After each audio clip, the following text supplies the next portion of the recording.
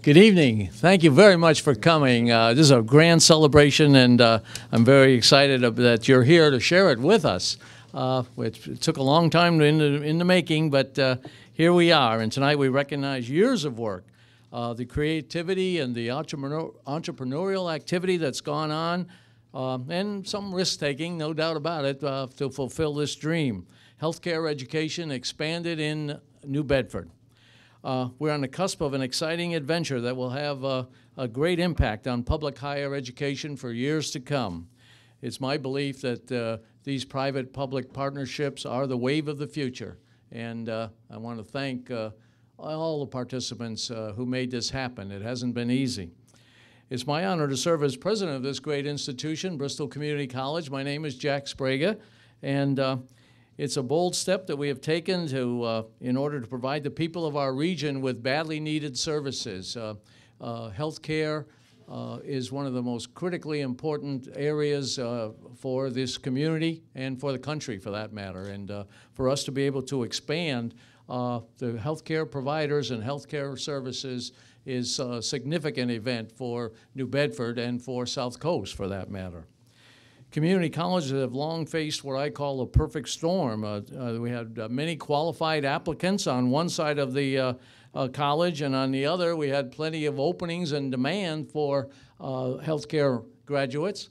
And we're the problem in the middle. We are the institution. the example I always use is a thousand applicants every year, not just one year, but every year, a thousand applicants for 72 positions. and you can imagine on the other side of the funnel uh, the healthcare uh, providers, the hospitals and uh, other services uh, demanding uh, more nurses and more healthcare providers. And we just couldn't uh, increase our capacity because of the, of the enormous price on our cost on our resources. So um, we have a high unemployment rate in this region.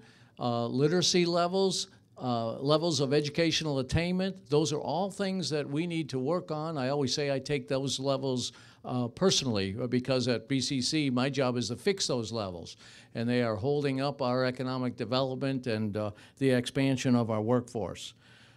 So uh, we try to, uh, I stay up at night trying to figure out ways that we can increase that capacity and here you have before you just a wonderful example of that. I want to thank also the uh, entrepreneurial thinking of people in this room who helped us uh, and move forward. It has not been easy. Uh, you're going to hear from our legislators, from the mayor, from the Department of Higher Education, um, in addition to the funding that was necessary, the faculty at BCC, uh, the staff, the dedicated people who have uh, pushed this forward, and, uh, and now you see the fruition, and what a lovely facility we have. Right now, we have 121 students enrolled in our general uh, in these in these programs, and uh, we're very ap- uh, very uh, uh, proud of that. I mean, you consider we really didn't get started until July or August. We've been working on it a long time, but we didn't really get the green light, the final green light, until. Uh, July and August, and so to have a you know quick turnaround and have classes start uh, just a few weeks ago is just tremendous. Uh, it's just a, a wonderful uh, testimony to the dedication. Not only are there 121 uh, students currently enrolled, but there are 90 more in the application pipeline, and more and more will uh, will continue as we roll out uh, programs over the next three years. Um, the uh, facility, if you haven't had a chance, there will be a tour afterwards, but uh, the facility incorporates the latest in uh, technology and learning resources uh, for our classrooms and for our labs. And of course, distance education plays a key component in this. And one of the particularly engaging elements of this program is that students don't need to be right here uh, physically, uh, uh, except for some lab uh, work, uh, because of the health careers allows students to do much of their work online. And in this day and age, with the complexities of society, uh, single parents, uh, transportation, care at home uh, for elderly parents or for children, uh, it really makes a demand on the students to come to college. And if we have a class on Monday, Wednesday, and Friday at 9 o'clock, that automatically lets out and excludes a number of people who can simply can't make that uh, at the campus. But if we have it online, uh, then we uh, are, make the uh, flexibility, uh, the uh, accessibility uh, for them to adjust to their schedules. And I think it's going to be, a, as I say, a wave of the future. Uh, not only uh, distance learning, which is growing exponentially at the college and across the country, but also private-public partnerships uh, here. And it is, uh, it is a celebration tonight. I mean, who comes to you in this day and age and says, here, take some millions of dollars, right? And nobody does that, except the people I'm, a person I'm about to introduce to you. Uh, and it was his foresight and uh, great uh, skill in entrepreneurial activity that was instrumental. We simply could not have done this project without, uh, without uh, Jerry Kavanaugh uh, and Kavanaugh Software, as well as the Princeton Review. Princeton Review, same people that brought us the SAT uh, tests that we all agonized over for many years. Uh, a very, uh, very uh, prestigious organization, and uh, I wanted to say up front as well, because I know there's been some uh, murmurs to the contrary, but all of these courses are BCC courses. They are controlled by BCC, they are taught by our faculty. The Princeton Review is a, a supporting network. They have come uh, like a uh, bolt out of the blue to help us expand that capacity, and they are not interested in interfering in any way with the academic uh, process. They, they always have said, uh, Jack, it's up to you to run it as a BCC course. We only want to support, and that's what's happened. So it's my honor uh, to introduce to you, my pleasure, and a, uh, a great friend as well as a professional colleague, Mr. Jerry Kavanaugh. Jerry Kavanaugh. Thanks, Chair. Thank you very much, Jack. Thanks for that introduction. Um, Most of you know that I grew up in this town, grew up playing on the elevators in the old Keystone Building and hanging around on Union and Purchase Streets. But what's most, more interesting is, is that's not why we're here. We have the honor of having Commissioner Freeland with us, and I will tell you and him that we spent months traveling around the country, going to different cities and different states, talking to different higher ed commissioners. Mike Perrick and I spent six to eight months doing that and decided that we would be best served in Massachusetts and in New Bedford.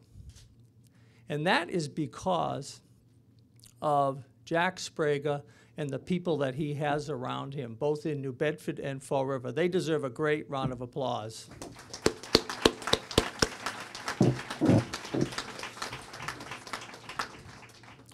This facility here, and please uh, take a look at it before you leave. It's a fabulous facility. This facility is here because of, not because of Kavanaugh Software or the Princeton Review, it's because of Jack Sbrega, Terry Romanovitz, David Feeney, and all of the great people who serve this institution. And the further we go in this process, the more that we realize the high quality of all the people who actually are affiliated with it. Because this was not an easy process. There were a lot of substantive quality questions that got thrown our way before we were allowed to do this. Commissioner Freeland's office, the accrediting agencies, the college itself, legislators at the State House, and we had to answer every single one of them before we were allowed to move forward. But this is a great enterprise because we know that there are 100,000 new jobs to be created in allied health. And you know what happens now in some, for some of those jobs? They import people from China, the Philippines, India, Canada in order to fill those jobs. Well, now we will be able to train our students for all of those jobs. And because of Commissioner Freeland's work, and because of Jack Sbrega being willing to go first, we will also be opening facilities just like this in three other cities in 2011. So with 100,000 new allied health jobs, we will be able to train almost half of those people to make certain that they are local people taking those jobs. And I am thrilled to be a party to this. The students here, we have some students here, I believe. The students here are extraordinary. They are just regular people who are willing to make that extra effort to get a better degree so that they can provide better for their families. And we are here only to try to help them do that. Thank you very much. Thank you, Jerry. Thank you, Jerry. Uh, He's absolutely right about the students. We should be, uh, uh, uh, we're the ones should be applauding and applauding the students for their wonderful uh, efforts and their entrepreneurship themselves and taking a chance for this. They see a, a brighter pathway for themselves, and we're, we're, that's why we're here. Accessibility and affordable education, and of course, of the highest quality. I would also like to say that um, uh, we had very lengthy conversations. Uh, Jerry mentioned some of the people and some of the uh, uh, offices that we visited as we prepared uh, the way for this uh, program, and that's as it should be. We want to be very careful, and it's tightly controlled, and and it is there are no questions about the integrity of the process, and that's why we were so we were willing to go anywhere. We went to uh, uh, New England Association of Schools and Colleges. We went to their headquarters in Bedford. We went up to the uh, Boston uh, for the uh, Department of Higher Education on a number of occasions. Individual legislators uh, we went to visit. the mayor uh, all uh, faculty meetings at the college, and uh, it was all uh, a wonderful experience because it was enlightening for people who came, and frankly, some were skeptical. And we had interviews with newspapers and whatnot. But the idea was it's a pure, this is a pure program, and it's going to be uh, uh, a wonderful boon for the economic development of downtown New Bedford and the, the whole city and the whole region as well. Uh, and uh, those careful uh, conversations had to take place. And uh, it's my honor now to introduce to you uh, the Commissioner of Higher Education who ensured uh, not only that those conversations took place and that the hard questions were answered, but has been very supportive all along for this. He immediately grasped the significance as in my first conversation with him about this. and it's been an honor to work with him I hope you will welcome uh, the Commissioner of Higher Education, Rich, Dr. Richard Freeland. Thank you, Dr.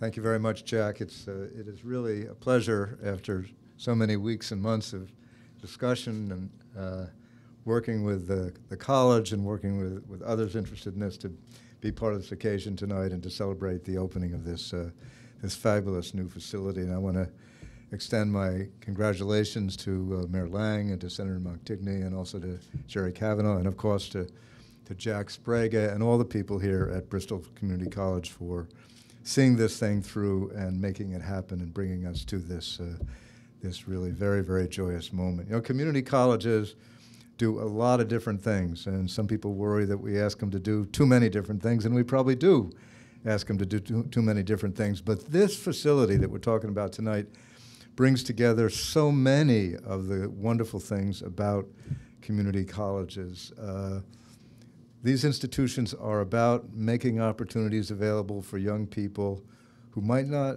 necessarily have other places to turn if they weren't here.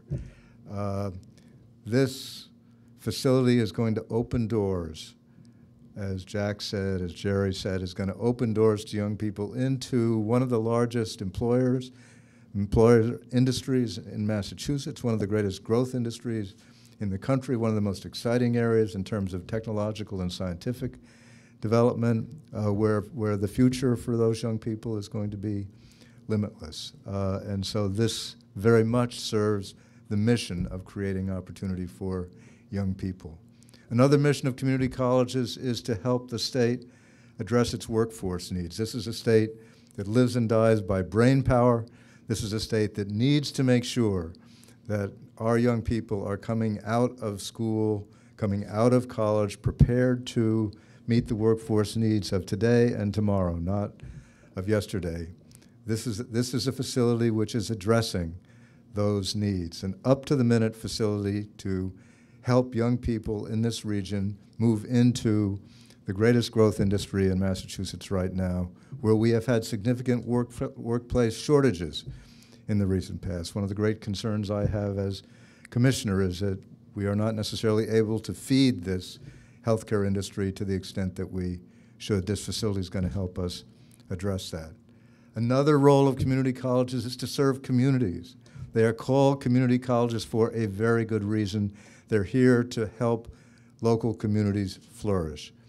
New Bedford is a part of the part of this state that all of us want to see strengthened and revitalized and achieve the kind of glory that it has had over the, over the splendid history that, uh, that this city represents as it tries to reinvent itself and reinvent itself again to keep its economy consistent with the opportunities and demands of the present and of the future. And here is Bristol Community College right in the middle of New Bedford saying we're here to play our role in that process. We're here to help New Bedford recreate itself in a 21st century context. So you see wonderful coming together of different parts of the mission of community colleges here in ways that are just so joyous to be a part of. And, and we're here because Jack Sbrega and Jerry Kavanaugh and the other people at Bristol Community College were ready to push the envelope a little bit. And Jack is right. When he came to me with this idea, I said, you know something that sounds like a great idea, but what I didn't tell him is, you know something else? This idea kind of scares me uh, because there, there are dimensions here, and the senator was on the phone with me. I told the senator that. Uh, because it's pushing the envelope. You know, there's a saying in, in higher education, which handed down to us from uh, me- medieval university, coined by one of the great leaders of Oxford University in the 16th century. He said, The premise of higher education is never do anything for the first time. well, here we were being asked to do something for the first time, and we were asked to do a public private partnership, and we're asked to sort of mix private sector, entrepreneurial, profit making, God help us, profit making enterprise with the public service mission that we are part of. And how do we keep this appropriately disentangled, the different missions of the different players involved? How do we make sure that the public interest is properly uh, addressed? Uh, how do we make sure that we don't use public resources for private gain? How do we reassure those who are going to be asking us those questions that all these issues have been properly addressed? And so Jack did indeed make his way to Boston many times, and we had our general counsel working on. We had, but uh, we worked through it. There was great patience. Uh, and, and the truth is, it was appropriate because we have now created a model which we will be able to replicate. And already in Massachusetts, other community colleges are saying, hey, we want to be part of this too. We want to do this too. You guys have paved the way. Now, as Jerry Kavanaugh said, we can roll it out in other communities with other institutions. So there is so much to celebrate here today. The mission of this college being affirmed, the leadership of Bristol being affirmed, the entrepreneurial and creative energy and adventurousness of this community, and above all, new opportunities for young people and people of all ages in this great city and a new dimension of the future for New Bedford. All things to bring joy to all of our hearts. Thank you very much. Thank you, Dr. Freeland. You should know, I mean, he's come all the way down from Boston as a supporter of this program. He had a long day today, and here he is. Uh, and uh, we're very grateful for him to take the time to come here. He made clear, you know, we, as he mentioned, we met not only with him, but we met with his legal experts and his uh, financial experts, his academic experts in the Department of Higher Education, because he made a, uh, the things that he was just talking about is a very important point that our next speaker uh, also made clear. Uh, and Senator Montigny would, he's right, right on this from the very start, and he would say, Jack, you know, a lot of people are going to be looking at this because it is different. We don't, uh, we don't like change in, uh, in higher education, uh, so you can imagine the commissioner's reaction when I first went up, if I got an idea for you. Uh, but he was wonderful, and, and as, as is our next speaker, as, is all, as are all the speakers tonight.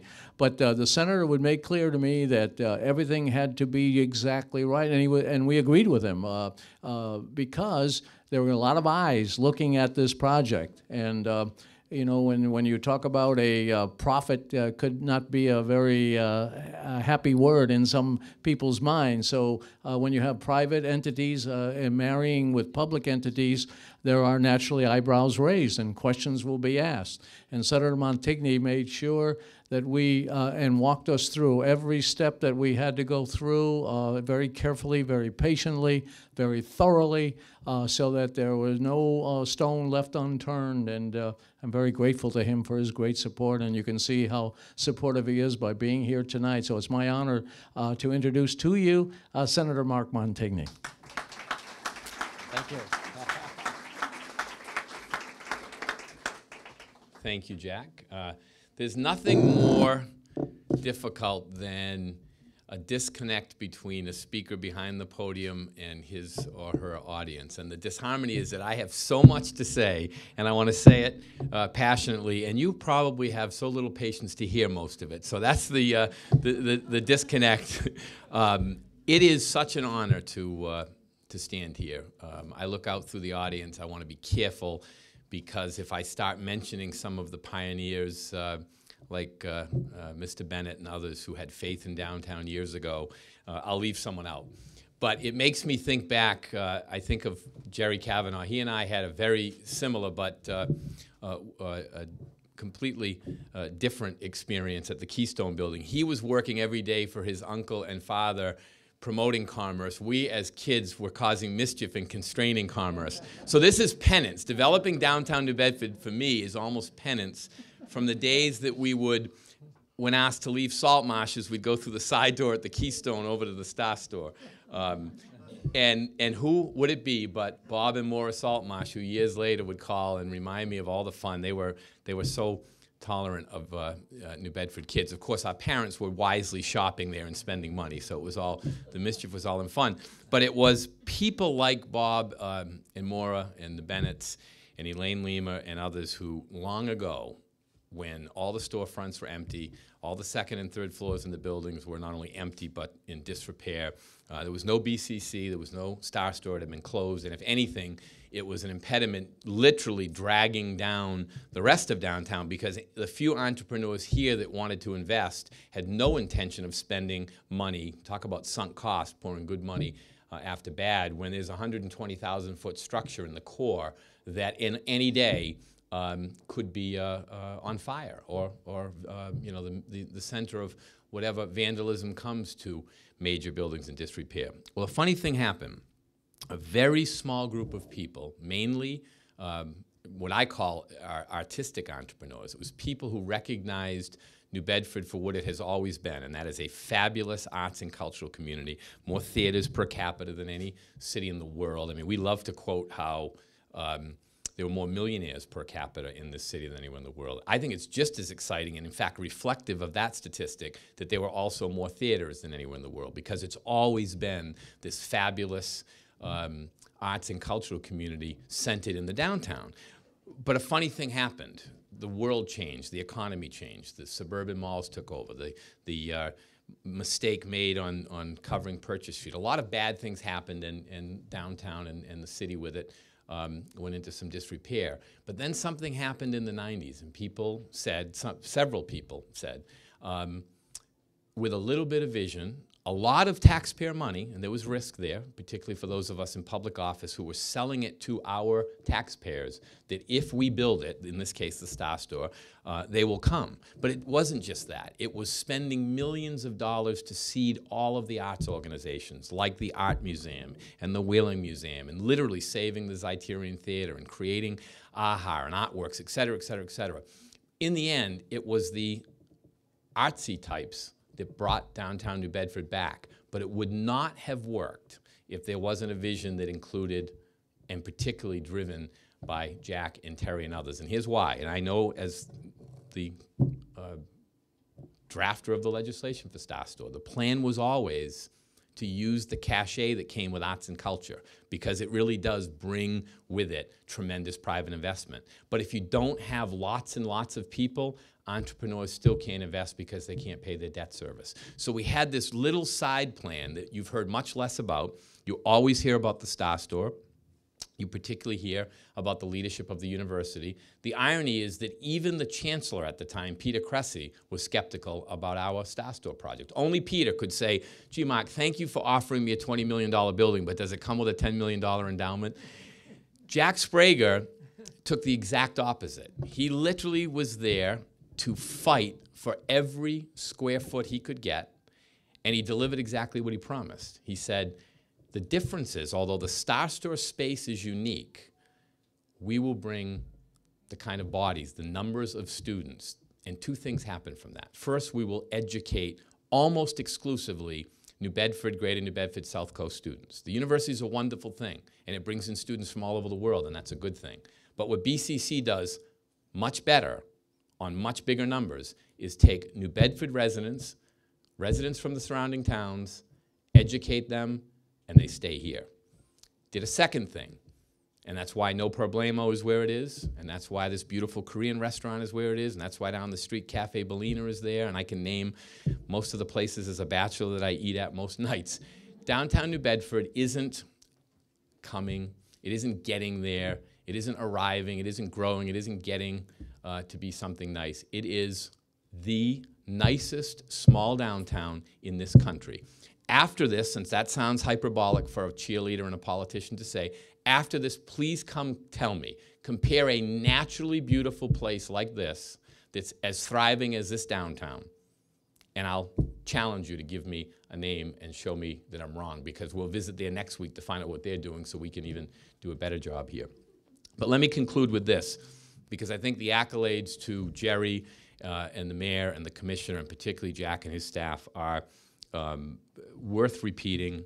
It's impossible to exaggerate. In the end, what BCC has done, and this is just the next expansion, it's been doing it for years and now over a decade. What BCC has done is given us the numbers to make sure the private investment follows the seed money. Downtown New Bedford would not have worked without that. The entire vision, I was there and helped develop the vision and then legislated that vision and then spent about $40 million of your money, our money. It would not have worked without BCC, more so than the university, bringing in now what, 1,700? With this program, what are we, close to 2,000? Students that every day go to the Celtic Coffee House in the Green Bean and after work uh, and study, they go to uh, No Problemo. They head over to restaurant after restaurant.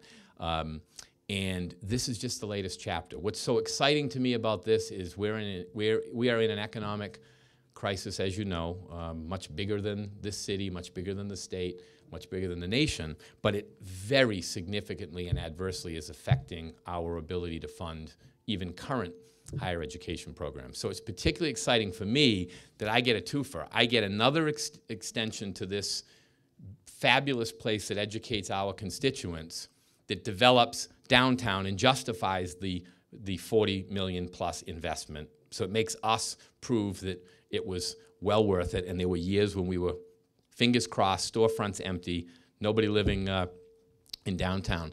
Those fights are over, but we need to continue to develop new and innovative programs to get to the next phase, to tie in Route 18 and do the same thing to the waterfront, which we will do. It doesn't work in this climate without a public-private partnership because I can't come to you and say, don't worry, in the next capital bond, I will do X, or in the next operating budget, I'll do Y. Uh, what I can do is work with these folks to say that there's a way to promote a government policy goal with a private sector funding source and a fabulous thing happens at the end of that. Not only do we get what we need for downtown, I'm happy to see Jerry and his, his uh, folks make money off it. That's good. That's a good thing because they'll come back and invest more. And with them, there'll be people flying into this town as they're doing every day because people downtown are making money.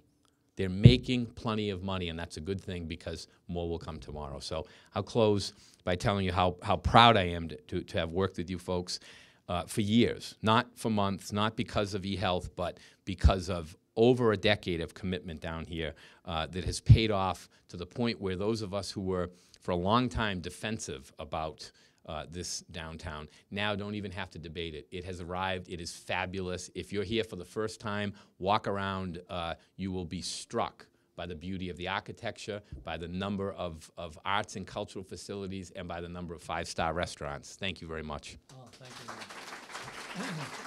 Senator Mark Montigny, a great supporter. You know, uh, he was instrumental in uh, uh, providing for Bristol Community College to be in the Star Store. As he said, we had a fight for every foot uh, uh, that we got there, and uh, we had a great partnership with the University of Massachusetts Dartmouth and Chancellor Jean MacCormack. Um, I remember calling uh, Senator Montigny's office when we hit 500 students. We have 500 students at the Star Store, then 1,000. And now, over the year, we already have 2,000, uh, not in one semester, but uh, uh, unduplicated. So we're up over 2,000, and this will be another 20, uh, 200 or so for uh, his vision. I mean, he saw right away what would happen with the Star Store, and, uh, and it has happened. And I should point out also that he is instrumental. We are now on the bond bill. Uh, I mean, I don't know how long it'll take, but uh, we wouldn't be there if it weren't for him uh, for, with a $20 million um, uh, earmark, I guess if that's the right word, a $20 million allocation uh, set for Bristol Community College for a downtown campus. And it wouldn't have happened without Senator Montigny being available uh, and right behind us and right for us. We're working on that bond bill now, but first the state economy has to recover a little bit. no, no, you're right. That's a bad word. but uh, very supportive, and uh, I'm very grateful to him. And as I am to our next speaker, uh, again, the downtown economic development. Um, I see Mr. Bennett here, and we received an award from Downtown uh, Inc. Uh, for the great economic uh, work that we provide uh, for downtown. Diane Arsenault is here somewhere as the downtown current uh, director. Uh, but we continue to work as uh, uh, Matt Morrissey and Tony Sapienza and the uh, New Bedford Economic Development Council. Len Coriati is here with the uh, Greater New Bedford Workforce Investment Board. So we're, we're moving ahead in partnership with the Career Center and New Directions, and uh, uh, it's just wonderful. Early this morning, 8:30 this morning, we had a graduation ceremony on Union Street for uh, Stepping Stone graduation. It included the partnership of UMass, uh, New Be- uh, the uh, New Bedford WIB, and also the Career Center and the sustainability training that we did with Bristol Community College. So we started this morning, celebrated in New Bedford, and we continue here all day. Um, our next speaker, as I say, he is another great supporter, and we wouldn't be here without him. We wouldn't have been here without any of these three uh, people uh, providing us through the rough weather and uh, taking us, uh, navigating us through. Uh, I can tell you a quick story about uh, Mayor Scott Lang as mayor-elect before he took office in December.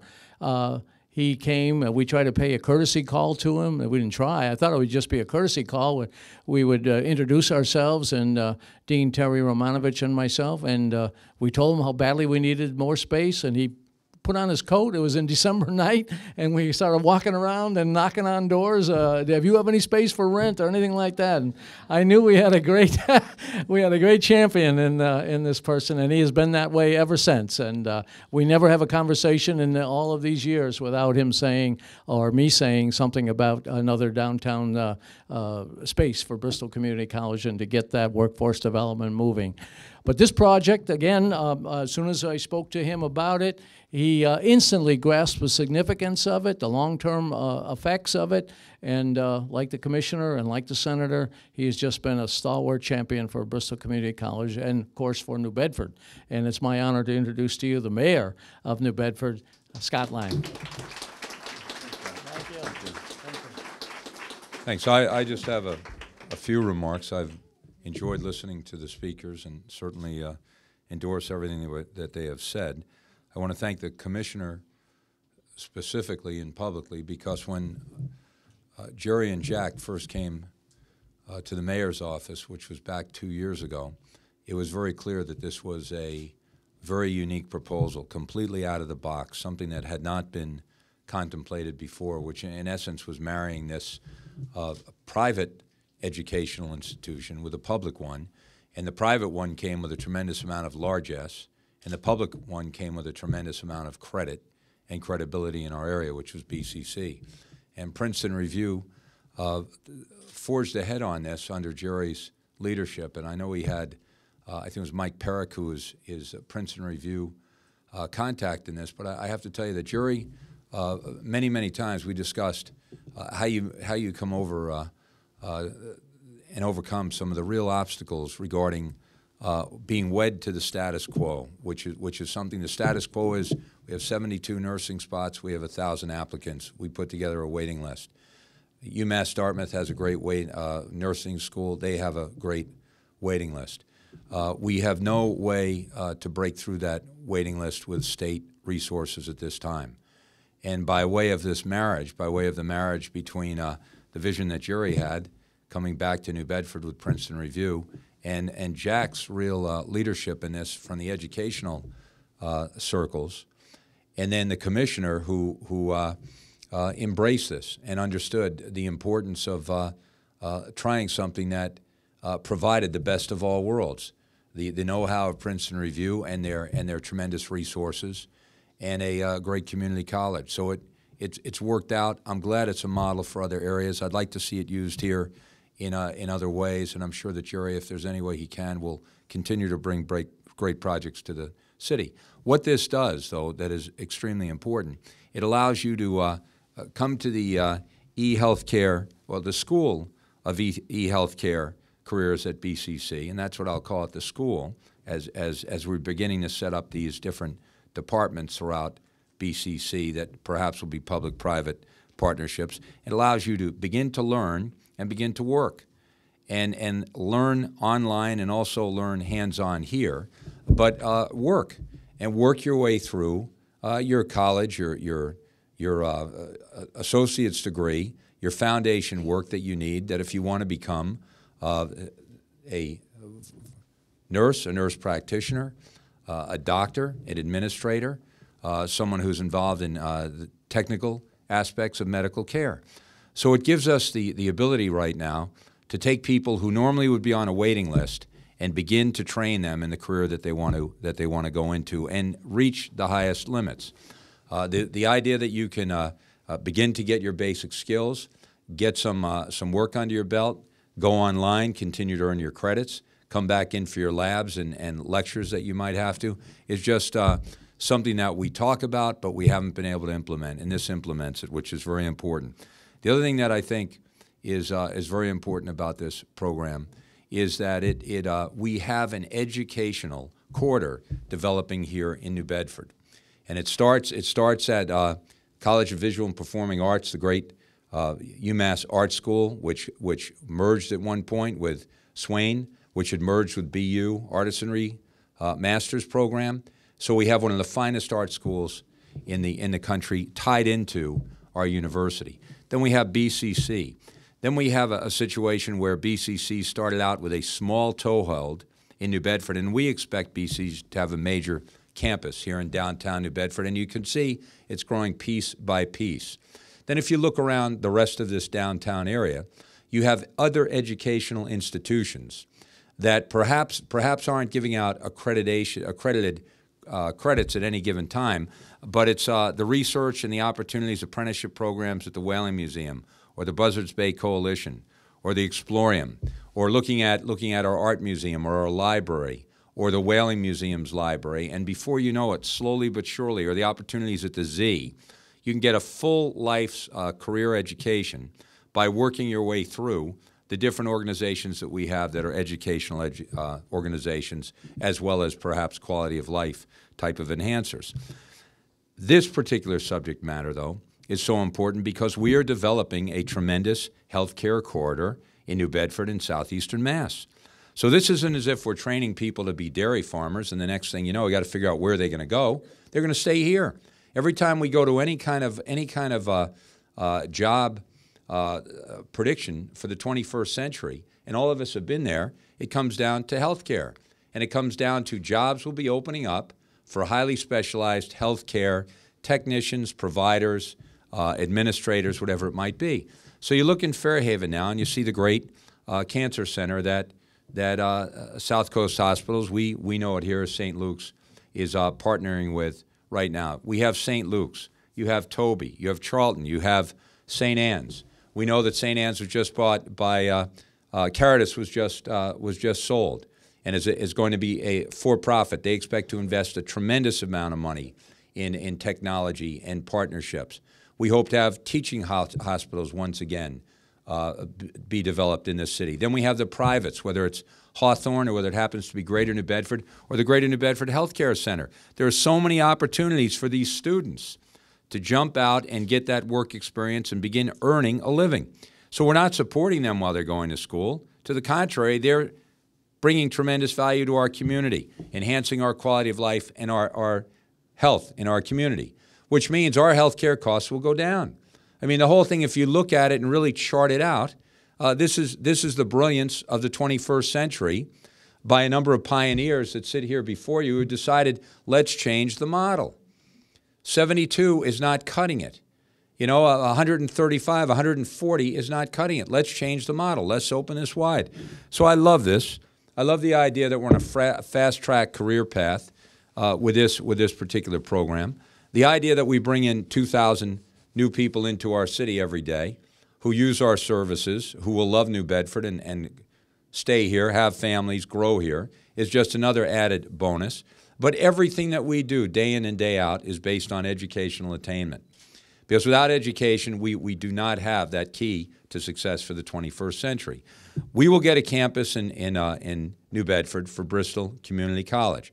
We'll rely on, on Jerry and his uh, uh, ingenuity. We will rely on, on uh, Dr. Sbrega and his leadership, the commissioner who wants to push this forward, and Mark Montigny as the chair of the bond, uh, the uh, committee on bonding for, uh, for the uh, Senate, and Tony Cabral, who also chairs the committee. And I want to recognize Al Maderas, who is here for Tony Cabral and all the legislators, uh, John Quinn, Steve Canessa, and um, uh, Tony Cabral, as well as Bob Koczera, were involved in this uh, enterprise along with the senator. And then our, our city council, certainly very supportive. And I know we have Steve Martins here from the city council, who also works in career development and workforce investment. He knows exactly what this is all about. Got a great team behind this. Uh, I'll throw one kudo out. I know the newspaper jumped on this very early and supported it, and that's important.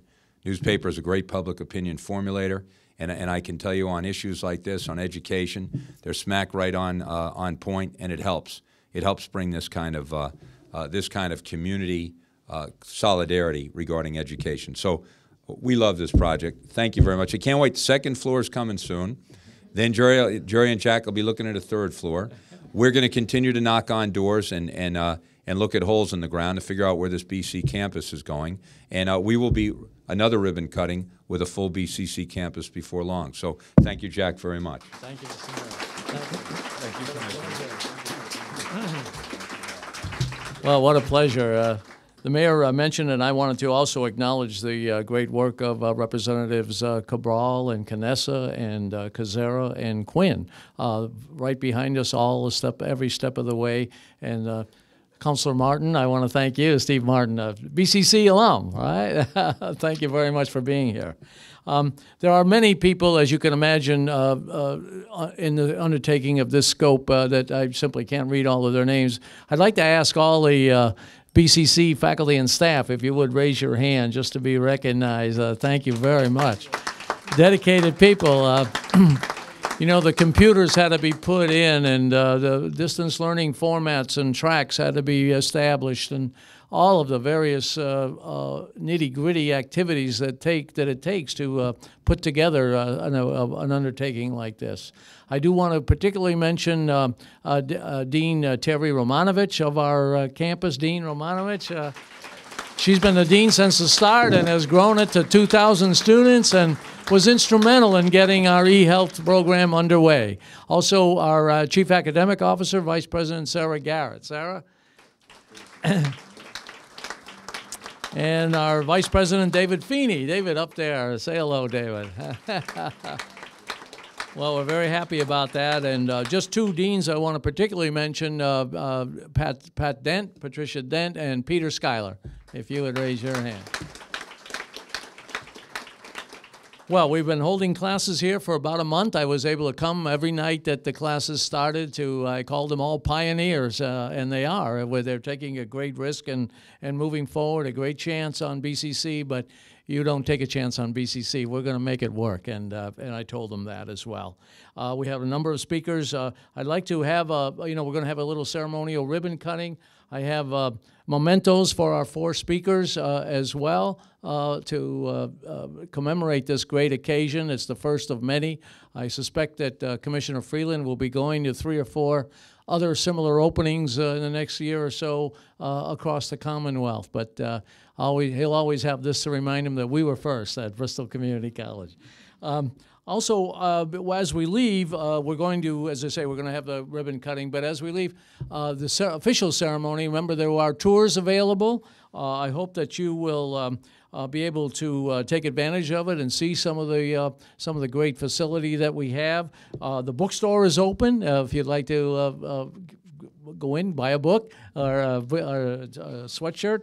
I also wanted to acknowledge the uh, presence of our uh, uh, fabulous uh, member of our Board of Trustees, uh, Cynthia Rose. Cynthia, thank you very much for your support. New Bedford native, right? and a great supporter of New Bedford. Well, if uh, I could invite the four speakers uh, to come with me now, and we'll have a ceremonial ribbon cutting, and then uh, please enjoy the food. And uh, I want to thank La France Hospitality for the great food, and uh, please enjoy. And thank you very much for coming.